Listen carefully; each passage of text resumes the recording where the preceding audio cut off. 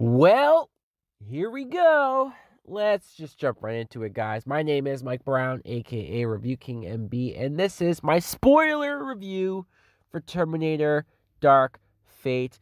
I made a non spoiler review and I tried hard to be objective. I tried hard to just talk about it in a non spoilery fashion and and give reasons for why I didn't love it as much as I wanted to, but also explain why the movie's fine the way it is. But now that I get to talk about spoilers, I have watched Jeremy Jahn spoiler talk on this movie, and I agree a thousand percent that I could not get into this movie after they killed John Connor. They killed John Connor in the first like three or four minutes into this movie.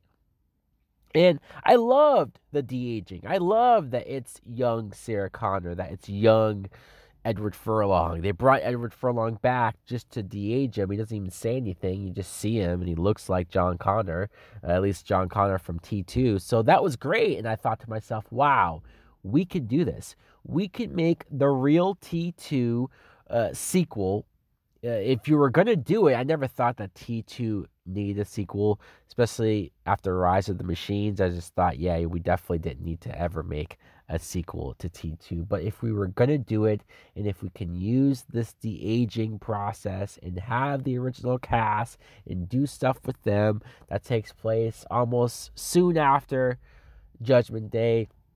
But no, they killed him off. Randomly, another T 800 shows up out of nowhere. The aging on young Arnold looked great as well. But man, this was out of left field. I know it was supposed to be a shocker. I know it was supposed to be this wiping the slate clean thing that I read an interview with Tim Miller, the director, who apparently he thought this was a great idea. I think Jim James Cameron, who produced this movie, and I think him and Tim Miller argued over this. I saw uh, quotes of James Cameron saying that him and Tim Miller clashed hard in the writer's room over this movie. I would have to think that James Cameron was pissed about this. Had to have. Because you don't watch T2. Because I watched T2. I rewatched T2 right before I watched Dark Fate. You watch T2 and how important John Connor is and how that whole movie is about saving this kid's life and making sure that he lives and and you get invested you get into it you get uh, you feel for Sarah Connor. You feel for everything that's involved. I know that they prevent Judgment Day. I know that they do save 3 billion lives. I know that they accomplish their mission. That doesn't mean that I want to see or that I think it's it's acceptable to kill this character off in the first few minutes, completely negating what we just have gone through in T2. It really is like Newt from Aliens when she is this little girl that Sigourney Weaver Ripley wants to save. That's this whole big thing. And then we do save her. We go through hell to save her from the Queen alien and whatnot. And then in Alien 3, they just kill her in the opening credits. And I hate Alien 3, and that reason is a big reason for it. So it's almost like, well, why don't I hate this movie?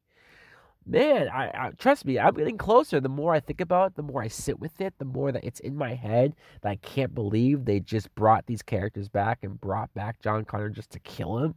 I know that they've tried everything to do with John Connor, uh, Rise of the Machines. They made John Connor this uninteresting guy because Judgment Day doesn't happen, so he just sort of sits there and doesn't do anything, right? And then finally it does happen. Christian Bale played John Connor, and he's more of the John Connor I think that we were at least uh, led to believe would exist in the future. And then in part five, Genisys, you see Jason Clarke as John Connor, who they turn evil. Skynet grabs a hold of him and turns him evil. And man, was that one of the dumbest decisions ever. I thought it was one of the dumbest decisions ever until I see that they just killed him off in this movie. So, wow, I I am dumbfounded. I am upset. I am angry it, it almost negates everything else. It was hard for me to get into these characters. It was hard for me to be completely fair to the Dani character, to the Grace character. I mean, the actresses were fine. I just didn't care though. It just felt like they wanted to get rid of the old and bring in their new characters and have them be the face of the franchise. And I never quite bought it as well as I wanted to. The movie's not horrible. The movie's not even the worst sequel in the franchise. I still say Rise of the Machines is the worst one out of all of them followed by Genisys. But still, this one, it's like I'd rather watch Salvation. and people hate Salvation. And I watch this movie and I don't know why. Sure, it doesn't have Linda Hamilton. Sure, it doesn't really have Arnold in it in, in, a, in a real capacity. But still, I I don't like the story decisions that this movie decided to take, and I didn't care as much about Gabriel Luna's uh, version of the Terminator. It just felt like a, a whole big retread of Robert Patrick from the second movie. A lot of it felt like a retread. A lot of it felt like territories that we've been through, and I just I wasn't as impressed. I wasn't angry.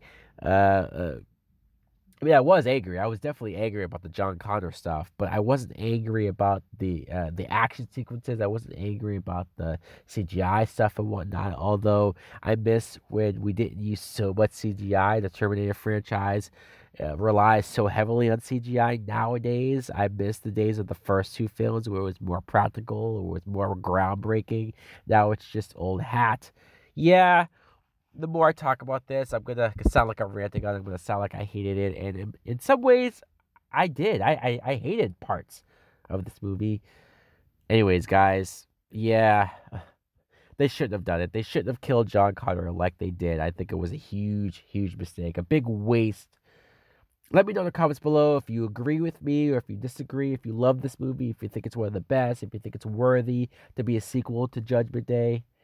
Thanks for watching. Like, comment, subscribe. Later.